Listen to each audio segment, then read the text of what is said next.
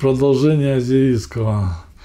Когда тело уже вывели из состояния равновесия и возникают силы, которые стремятся его куда-то возвратить, то это уже не состояние равновесия. Но по Катющику это не так. И у вас, похоже, тоже. Если тело движется с ускорением, то это никакое не равновесие по определению.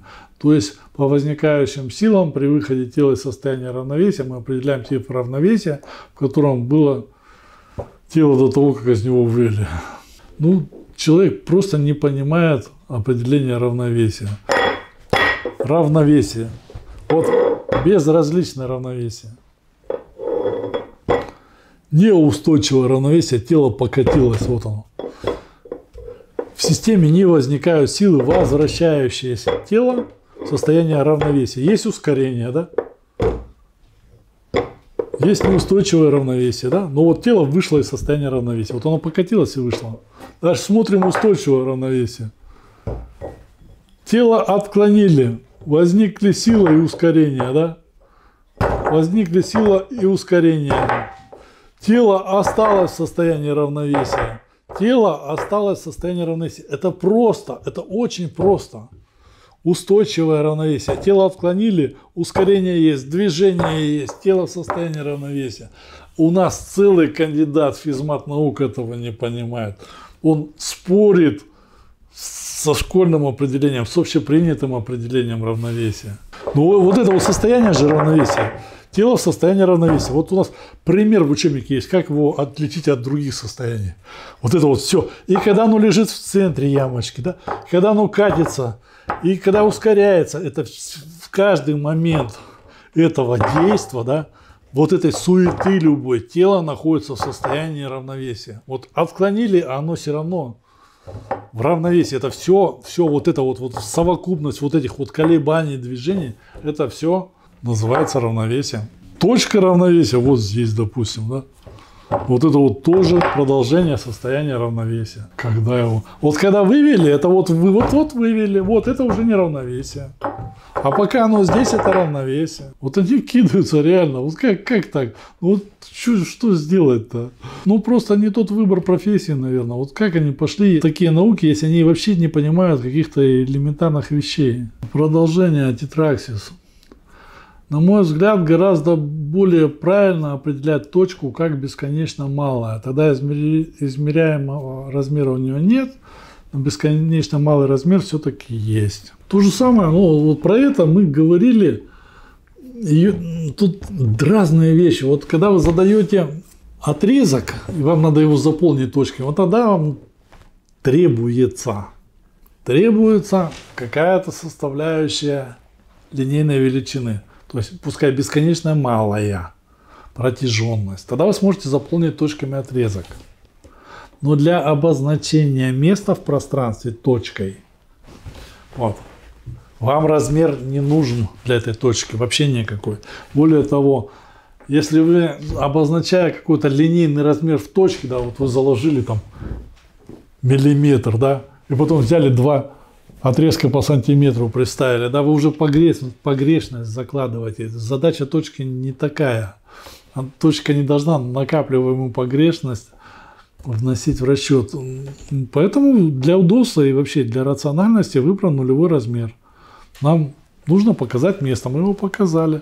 Прямая тогда бесконечная цепь несуществующих объектов, именуемых точками. Правильно.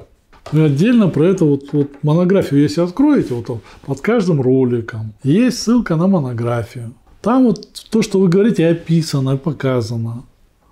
Как два математика решили заполнить расстояние точками. Там история даже проведена такая. Пожалуйста, просто ознакомьтесь. И по, по этому товарищу Ткачеву. Суть претензий, вот все претензии, которые он предъявлял, они ну, несостоятельны. Мы когда с Коведишем что было? Он начал утверждать, что вот это вот приближение шаров – это именно притяжение. Он говорят, нет, он, а что, а как может по-другому? Он даже не может, он не видел другого варианта, он не понимал, что есть другой вариант, да, мы ему показали другой вариант. То есть После того, как он увидел другой вариант, вся как бы его исходная претензия, она вот просто как песочек осыпалась. И он перешел к следующему пункту. Это вот просто перескакивание в критике с одного бессмысленной претензии на другую бессмысленную претензию. Даже запомни это бессмысленно. Пожалуйста, если у кого-то критика есть, вносите ее вот просто под любым роликом. Утверждение такое-то в части такое-то неверно по такой-то причине. Не надо вот там фантазию неверно потому, что мне мерещится то-то и то-то. Просто по такой-то причине указали и все. А если вы просто лозунг сказали, потому что, потому что оно так, это не, не обоснование, это Вторая претензия к Катющику. Спутник его теории должен висеть в неком равновесии сил. Эта сила от удаленных тел должна при попытке удаления спутника от Земли расти. То, то есть спутник должен находиться как бы в ямке при, при устойчивом равновесии. Но в том-то и вопрос, что сила от удаленных тел на спутник не может расти, не падать, тем более в квадратном расстоянии. Вранье! Вранье. Это элементарно. Сила изменяется именно с квадратом расстояния. Мы это показали, этому посвящена работа. Вот люди не могут сосредоточиться и сочиняют. Вот первый попавший вымысел в голову берут и, и начинают в своем слабомыслии обвинять других. То есть меня. Вы не смогли сосредоточиться, я виноват. Почему я должен быть виноват? Вы не смогли сосредоточиться. Ибо это расстояние огромное и даже бесконечное. То есть сила от, от удаленных тел должна быть константа. У вас кроме бесконечных, бесконечного удаления есть комплекс удаленных объектов, которые поближе. Любая Земля, в нем выталкивает, расталкивает полость. Любое тело, такое как Солнце, тоже расталкивает полость. И это все математически легко учесть. И это не есть бесконечное расстояние. Сосредотачивайтесь. Кстати, прикол. По теории Катющика все планеты Солнечной системы должны двигаться на одном расстоянии от Солнца. В этой же ямке сил. Ибо ямка одна. Ржу не могу. Смех без причины – признак дурачины. Вот давайте. Возьмем, запустим вокруг Земли. Давайте вокруг Земли запустим яблоко. Вот запустили оно находится в балансе, да, вот есть сила инерции, которая уносит яблоко, да, и есть сила притяжения, которая его заставляет обращаться. Мы можем запустить два яблока, допустим, вокруг Земли. Вот здесь, допустим, Земля, два яблока, да. Вот взяли вот так вот их и запустили. Вот они обращаются, да. Можем. То есть большое тело в два раза больше, да, чем предыдущее, тоже так же может обращаться, потому что тяготение одно, да, каждое из этих тел притягивает с той, с той же скоростью, да, если мы слепим эти два тела, будет то же самое происходить, проблемы нет. Мы можем эти два яблока запустить не вокруг Земли, а вокруг Венеры, другого какого-то тела. Можем. Проблемы есть? Нет. Вот ваша претензия, она никакая. Если все это вокруг Солнца точно так же работает, да, то есть мы можем и на этой орбите запустить, и на этой орбите запустить. Просто баланс сил соблюсти, и это все работает. Не выдумывайте. Можем одно тело запустить, можем два вместе слепить. Нету с этим проблем. То, что вы просчитали, оно относится к галактикам. Вот когда галактики располагаются – по космосу, вот тогда вот этот вот фактор, он и имеет место, силовую составляющую. Зависит ли масса планеты от расстояния ну, до Солнца? В принципе, такой зависимости нет. Ну, как бы, если совсем в цифры вдаваться, там есть окно. Но в этом окне они могут как угодно располагаться. Просто чтобы совпадало, чтобы был баланс сил, две силы, чтобы уравновесились. И, пожалуйста, тело будет. И масса тела может варьироваться в этом окне. В принципе, мы можем и маленькое тело запустить как спутник, и большое на любом расстоянии, лишь бы совпали вот этот баланс сил. Если баланса сил нет, то не будет. Если есть, пожалуйста.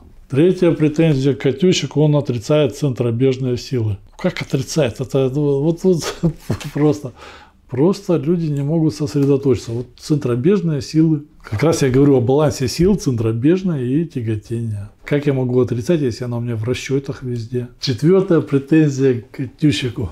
Как видим, в его теории остается лишь один элемент. Это затенение, затенение экранирование планеты силы от других тел через поле. Это он, оказ... это он что он называет частичное отсечение воздействия от комплекса удаленных объектов. А это, друзья, известная всем теория эфира газа. И Катючек ее украл и просто заменил в ней эфир на поле. Поле у него толкает, а не тела. А по сути это тот же эфир. Вот этот момент Катючек не может понять. Так, что я украл? Теория эфира газа. Ну вот это теория Лесажа Фатио, известная теория. Так, я придерживаюсь теории Ломоносова. Открыто об этом говорю, да? Вот. Украсть в этом ситуации, теорию газа я полностью отрицаю. Ее украсть не мог. Я фильм, эфир показывает о том, что я не согласен с вашей теорией газа. Я ее отрицаю, она не рабочая. Вот э, экранирование здесь не в этом смысле имеется в виду. Нет такого экранирования, как фильтр – есть вот именно вот это вот вытеснение полости. Экранирование, мы можем ее как экранирование обозначить в математической модели. Именно об этом речь, а не о том, что в этом. Сосредотачивайтесь, украли тут у них чего-то. Здравый смысл украли у вас. Пятая претензия к Катющику. В его теории понятие поля определено, как и в современной физике. То есть поле в его теории это некий материальный объект, причем неделимый на части, то есть континуум. А это значит, Катющик не может объяснить физику и механику давления этого поля на тела. В отличие, например, от масла под Кореи, Лоренца, в которой эфир и поле – это некая идеальная жидкость, которая реально течет, и эти потоки толкают тела. Таким образом, поле Катющика непознаваемо, ибо неделимо на части. Тут ситуация такая. Вот вы познали с помощью потоков теорию эфира – а эфира нет, это невозможно. То есть вы познали что? Вы познали то, чего нет в реальности. Да, но вы это познали с помощью того, что вы выдумали потоки. Вы просто успокоили млекопитающее, которое в вас сидит, млекопитающему показали аналогию, которая ему понятна, да, вот как речка. А это как что? А это как речка, как водичка бежит. И млекопитающему стало понятно, оно успокоилось, да? Мы же не успокаиваем млекопитающих, мы просто отражаем факты. Если есть такое свойство поля, мы говорим, вот оно такое есть. Это сто процентов известно. Если нет такого свойства, мы не говорим. Мы не успокаиваем млекопитающих, мы передаем э, достоверную информацию о реальном мире. Поэтому мы даем в рамках того, что науке точно известно. Все. Это разные подходы вас успокоительный, но не соответствующих реальности больше успокаивает, больше вам нравится. Нам такой подход ну, не подходит. Подход не подходит. Нам такое масло не масляное. Вот. По сути, проталкивает теорию Эйнштейна, который запретил даже думать, что эфир и поля состоят из частиц, которые движутся. С Эйнштейном тоже не дружим. Ну, не сочиняйте уже ерунду всякую. Вот просто, просто. Уже как весна. Собрали все и начали тут копошить копошню слабоумную, отличаться умом и сообразительностью.